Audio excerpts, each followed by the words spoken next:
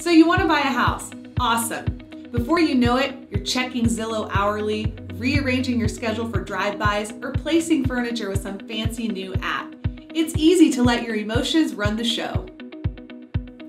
Understanding the steps of the home buying process empowers you to make wise decisions. Take a deep breath.